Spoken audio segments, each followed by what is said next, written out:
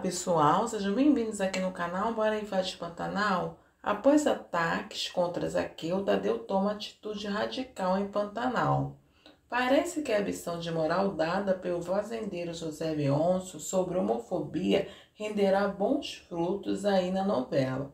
Nos próximos capítulos da trama, depois de ter sido preconceituoso na história, Tadeu vai se redimir e pedirá desculpas para Zaqueu. Após deixar o local, o mordomo da família Novaes voltará para a fazenda e se esforçará para virar peão na tentativa de agradar a todos.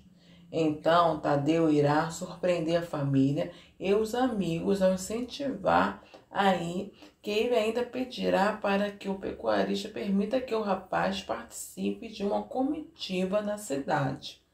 O pedido é inusitado para José Leôncio, ao notar a dedicação de Zaqueu, Tadeu surpreenderá o pai ao sugerir que o Zaqueu acompanhe né, uma comitiva e diz: Ele já está montando até que direito dirá o peão aí para Zaqueu e para José Meonço. E aí, pessoal, o que vocês acham aí dessa fazenda do Tadeu, né? Tentando se redimir aí sobre os ataques, né, que teve aí, a novela trouxe aí, falou sobre a homofobia, né, foi um tema abordado, muito bem abordado aí na novela das nove.